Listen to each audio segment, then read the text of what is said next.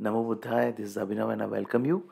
In this video, I'm sharing my learnings from Middle Discourses 75. Uh, this is with Magandiya, it's known as Magandiya Sutta. And Magandiya basically told, Magandiya was like telling, uh, uh, he was like angry on the Buddha and he was saying Buddha to be, he said, uh, it's very bad for Master Gautama, that life destroyer. He was labeling uh, Gautam Buddha as a life destroyer. So uh, the Brahmin, uh, uh, Bharadwaj, uh, who he said this, said that be careful what you say because many astute aristocrats, Brahmins, householders, and ascetics, they uh, uh, are devoted students of the Buddha so he said, No, I will say him to be a life destroyer. So so then what happened was that he says, Go ahead and tell the Buddha that I told him to be a life destroyer. Now Buddha got this clairaudience. He had this power of clairaudience. So he, he just in his meditation he could know that uh, Magandiya has said uh, this uh, about the Buddha. So Buddha uh, discussed with him and he went to the Buddha. He was Buddha was meditating, so he Wanderer Magandiya went up, go, got for a walk, and approached him. Now, Buddha said that Magandiya, the eyes like the sights, it loves and enjoys them. That's being tamed, guarded, and protected and restrained by the realized one, and he teaches Dhamma for its restraint. Is that what you were referring to when you called me a life destroyer? So, Buddha always did not like retort back. Uh, uh, uh, he, he first understood what was the context of when a person calls something a life destroyer. It's a like very kind of aggressive statement. But Buddha wanted to know. So Buddha said that what what basically the nature of the eyes is that it likes the sights. Similarly, the nature of the ears is it likes the sound. So what the realized one has is he has tamed, guarded, and protected the sense uh, sense, sense, sense basis. And he basically advises he teaches teaches the dhamma which advises restraint right? Because he the buddha's teachings are that if you go into the sense pleasures and crave for these sense pleasures the suffering will continue. So buddha said is it because you are saying that you because of that you are t- telling me to be life destroyer? So he said yes. Uh, so magandiya said yes. Then buddha actually tries to tell him why he advocates restraint on self sense pleasures and he also tries to convey that there is a higher pleasure that he wants his students to move to, which is much higher pleasure as compared to the lower pleasure of sense pleasures. Right? So that is coming out in this discourse. So Buddha says that take someone who used to amuse themselves with sights known by the eye that are likable, desirable, agreeable, pleasant, sensual, and arousing. Sometime later, having truly understood the origin, ending, gratification, drawback, escape of sights, and having given up craving and dis- dispelled passion for the sight, they would live rid of thirst, their mind peaceful inside. So, so he said, What do you say to them? Right? What do you say to a person who earlier was living in sensual pleasures and now he has given up th- this need for sensual pleasures? So, Magandiya said, Nothing. I will not say anything to that person. Then Buddha gave his personal story. Now Buddha is sharing his personal story that when I was still so this is this is princely days when Buddha was a prince. I used to amuse myself, supplied and provide. So basically, what happened? The context here is that when Buddha born, got born, there was this prophecy about him.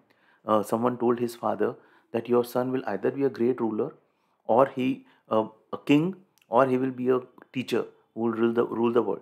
Either ways, he will rule the world. So Suddhodana did not want him to be a monk and a teacher and all. So he gave him all the worldly pleasures in the palace so that he he doesn't see any suffering and he grows up to become a king.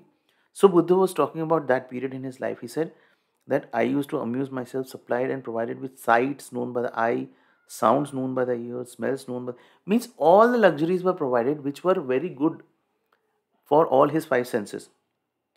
So Buddha says I had three long houses. Like he had three palaces one for the rainy season, one for the winter season, one for the summer season. Every palace he used to stay for four months. That means that much luxury he got. I got entertained by musicians, all women musicians, right? And sometime later, I understood the origin. So then Buddha went in search for uh, for the freedom from suffering. He realized that this sensual pleasures, being in that sensual pleasures, gave suffering. So he realized he understood origin, ending, gratification, drawback, escape of sensual pleasures. Having given up craving and dispelled pleasure, I live, rid of thirst, awakened. Buddha says, I see other sentient beings who are not free from sensual pleasures, being consumed by sensual pleasures, burning with passion for sensual pleasures, indulging in sensual pleasures. I don't envy them, nor do I hope to enjoy that. Why is that? Now, listen to it very um, attentively. Because there is a satisfaction that is apart from sensual pleasures and unskillful qualities, which even achieves the level of heavenly pleasure. That means Buddha is trying to portray that there is a, another level of pleasure which is much higher, much more refined than the sensual pleasures, which is like cravings about food, craving about sex, craving about, you know, uh, seeing something good or lust or something like that, craving about good smells, right? Perfumes. It's something which is craving about food. Much higher pleasure is there, which equates like a pleasure of a uh, heavenly pleasure. Then he gives like the example of a kind of a that is suppose a householder was there and he he was very rich, affluent. He he he would amuse himself with lot of sensual pleasure. Then he practiced good deeds. He goes to heaven, and heaven also he was delighted, amused uh, by all the nymphs and everyone. But the would the gods in that realm would they be envying the human householder for his household pleasures? No, because the gods themselves they enjoy that higher level of pleasure. So Buddha was trying to say that. So so Smargandhya said no. Uh, why is that? Because heavenly sensual pleasures are much better than human pleasures. So similar way Buddha said that there is a satisfaction that is apart from sensual pleasures, right? Then Buddha gives the example for leprosy. I will not go in detail because this it's a long discourse, right? There was another kind of analogy that Buddha gave about a person who is affected by leprosy and he gets a medicine and he gets treated. So another person who doesn't have a leprosy, he would look at that leprosy person taking a medicine. He would not envy the medicine. Why? Because he he himself doesn't have a problem. Like why you need a medicine is when you are facing a problem. If you are not facing a problem, why you will envy the other person? So that way Buddha like gave the analogy of this uh, leprosy thing. So Buddha says sensual pleasures of the past, future, and present are painful to touch, fiercely, burst, fiercely bursting, burst, burning and scorching. These sentient beings who are not free from sensual pleasures, being consumed by craving, burning with passion, have impaired sense faculties. So even though the sense pleasure, pleasures are actually painful, they have a distorted perception. And this is where we are all stuck. We think that these things or these, you know, sensual pleasures are pleasant, but they are actually not. And this is where we need to bring our mindfulness to our cravings, to our intentions. That you know what is what we we have to develop that right view that what I think as something which is pleasant is actually not pleasant. It has suffering within it, which is coming to back to the noble truth number one. Life is suffering.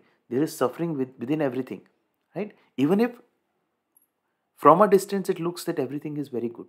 Think about your work, relationships, family, everywhere. Somewhere, wherever you try to find happiness, right? And, and, and this grasping tendency, craving tendency that that we get, ultimately it has its a layer of suffering that is there, right?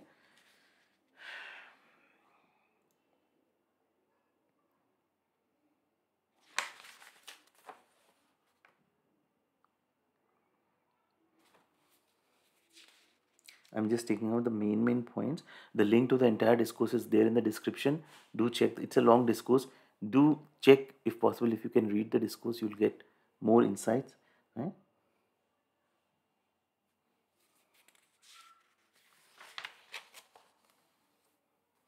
This is basically another analogy of like a, a, a person who is wearing a garment, right? Which is, you know, he is blind.